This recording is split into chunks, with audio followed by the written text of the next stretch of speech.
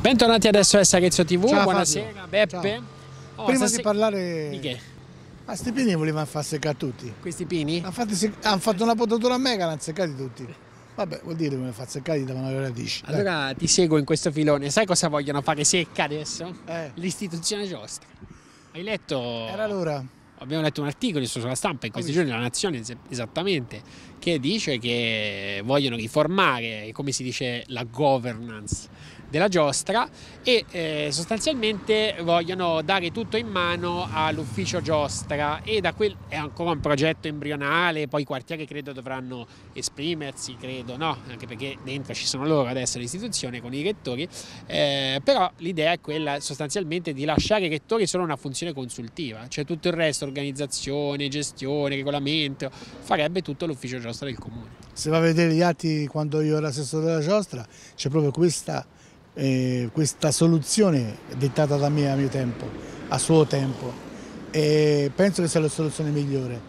Gli- non possono i rettori della giostra essere all'interno della- dell'associazione, prendere i contributi e votare i contributi che si prendono, assolutamente no.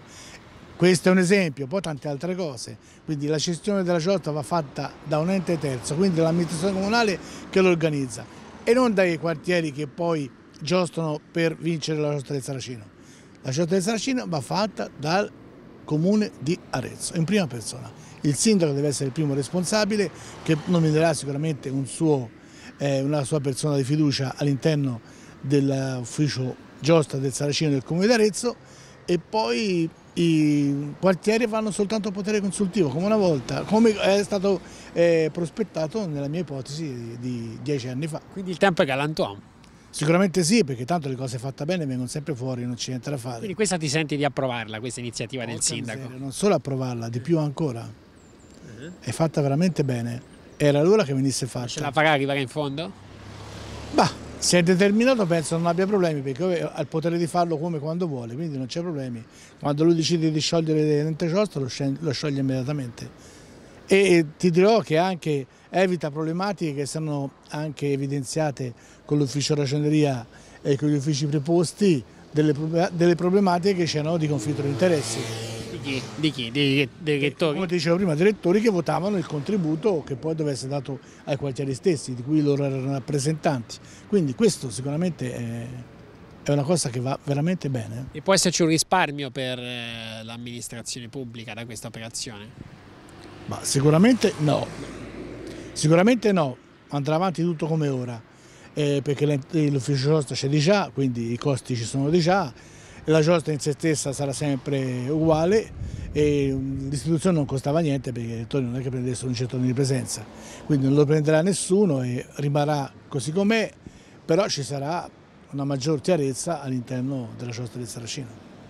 E quindi la manifestazione potrebbe migliorare o no? Oppure non incide secondo te sul- sull'organizzazione stessa? Secondo me migliora. Secondo me migliora perché sicuramente eh, gli uffici della giostra eh, consulteranno i quartieri per eventuali modifiche importanti, non su tutto, ma su, una- su modifiche importanti, soprattutto per quanto riguarda lo svolgimento della- delle carriere, lo svolgimento della giostra del Saracino, tutto il resto sarà panaggio solo dell'amministrazione e quindi avranno potere consultivo e dopodiché se l'ufficio giostra del Saracino eh, deciderà per conto suo come andare avanti. E quindi Esatto, eh, perché ci sono, ha visto le problematiche. i rettori secondo te accetteranno di questa, questa novità? Ma alcuni sì e alcuni no.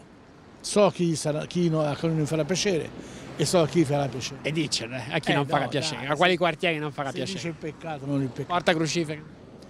Lo dici te. No, ho chiesto una domanda, punto interrogativo. Porta Santo Spirito. Eh, scusa, ma se vai per il Cuseto sarai in fondo. eh, eh, eh, eh, dai. Vabbè, non sarà il segreto, no? di- di- di- il terzo segreto di fatti. La- no, sicuramente no. Però sicuramente qualche quartiere è favorevole quel No, tu quartiere. dici il sindaco se vuole va avanti. Deve andare avanti. In questo caso deve andare avanti. Perché fa una cosa veramente fatta bene. Se è arrivato, Bene della giostra. se è arrivato a, questa, a questa ipotesi vuol dire che ha visto che qualcosa non andava. Sicuramente sì, sicuramente sì.